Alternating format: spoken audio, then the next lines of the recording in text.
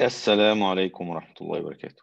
مع الحلقة الثانية في حوار هادئ مع ملحد. اتكلمنا في الحلقة الأولى عن قول الله سبحانه وتعالى والشمس تجري لمستقر لها. في الحلقة دي هنتكلم على حاجة تانية. خلونا بس نفتكر نمشي نمشي مع صديقنا الملحد كده. هو بيدعي إن الرسل كلهم دول نصابين وكذابين وألفوا هذا الكلام. وبيدعي بالتالي يعني بالتبعية إن محمد صلى الله عليه وسلم اللي إحنا بنعتبره رسول الله صلى الله عليه وسلم ومرسل من عند رب العالمين خالق السماوات والأرض والشمس والقمر والأرض والجبال. بيعتقد إن هو كذاب وإنه مؤلف المصحف. خلاص فإحنا قلنا له أول واحدة اللي هي بتاعت والشمس تجري لمستقر لها. برضو آه عايزين دلوقتي بنتكلم على أحد الأبحاث العلمية اللي يعني عمل طفرة كبيرة جدا في الفترة اللي فاتت دي آه اللي هو بيقولوا عليه ال internal waves أو الأمواج الداخلية. okay؟ اكتشفوا إن في أمواج داخلية. يعني الموج بتاع البحر اللي إحنا بنشوفه ده آه مش هو الموج الوحيد لا في أمواج تحت في الإيه؟ في البحر. طب السؤال دلوقتي إحنا بنتكلمش على الناس اللي عايشين في الصحراء زي قريش مثلا ومنهم محمد صلى الله عليه وسلم. خلاص إحنا بنتكلم على البحارين بنتكلم عن الناس اللي مولودين في البحر مولودين على ساحل البحر. أوكي؟ تعرفها إزاي دي؟ يعني الناس اللي بتغطس الناس اللي بتعوم الناس اللي بتاع يعرف منين إن في أمواج تحت؟ تجيبها إزاي دي؟ طيب لو قلنا الكلام ده لواحد من 200 سنة من 300 سنة إن الموج اللي أنت شايفه ده في أمواج زيه كده بس تحت. هيقول عليك إيه؟ بالك. طب ليه برضو ها آه الرجل هذا الرجل اللي, قاعد في الصحراء خد بالك اتولد وتربى وكبر ومات في الصحراء. تمام؟ ليه يزنق نفسه الزنقة دي؟ ليه أصلا يتكلم على حاجة هو ما شافهاش؟ زي البحر. تمام؟ وليه يزنق نفسه الزنقة الغريبة دي؟ مش إحنا اتفقنا إن هو عايز يقنع الناس عشان يلمهم بقى ويعمل إمبراطورية أو يعمل كذا ويعمل كذا؟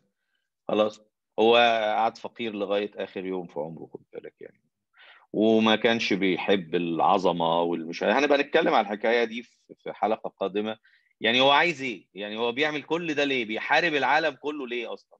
خلى العالم كله يعاديه، عاش في خطر طول حياته معرض للموت، معرض للاعداء، عدا البشر كلهم تقريبا، ليه بقى؟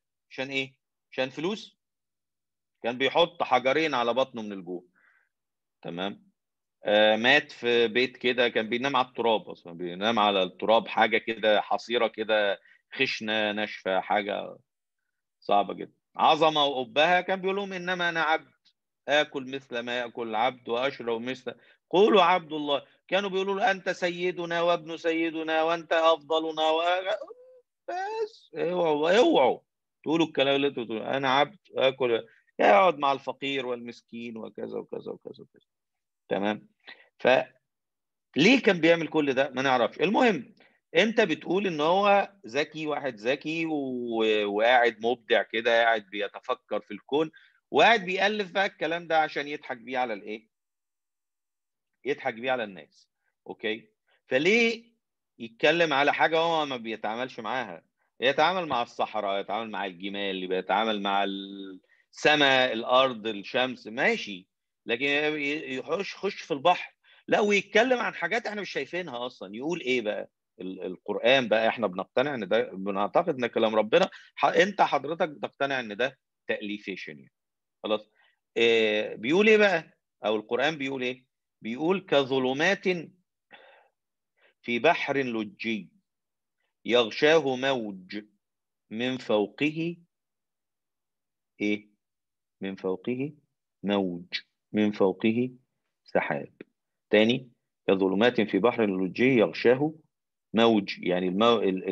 البحر ده اللجي ده العميق تمام في أمواج.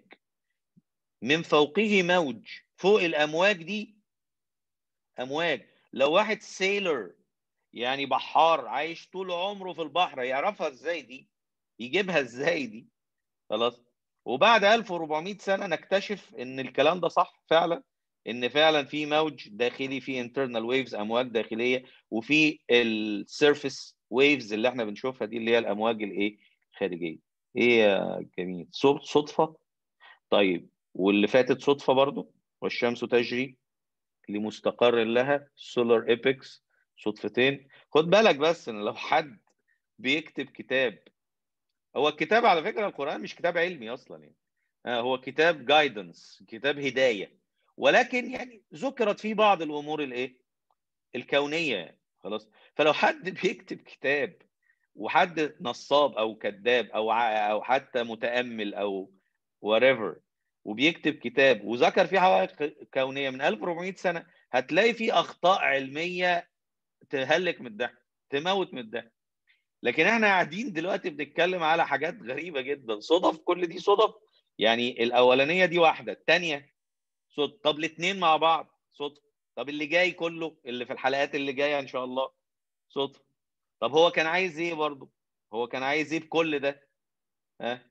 هو ولا خد سلطة ولا خد فلوس ولا خد أبهة ولا خد قصور ولا خد أي حاجة. تمام. فكر ولو لقيت رد اكتب في الكومنتات. بس بال يعني عشان خاطري بلاش بالله عليك عشان انت مش مقتنع ان في الله أصلا. تمام؟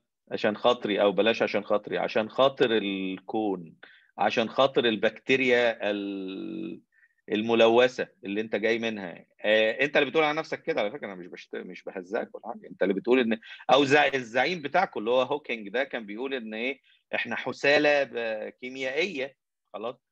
فيا أستاذ حثالة بلاش ترد ردود سخيفة. يعني. رد ردود كده عشان ما تضحكش الناس عليك. okay؟ واحدة بتاعت الشمس والثانيه بتاعت ال internal waves okay؟ المرة الجاية واحدة كمان. السلام عليكم.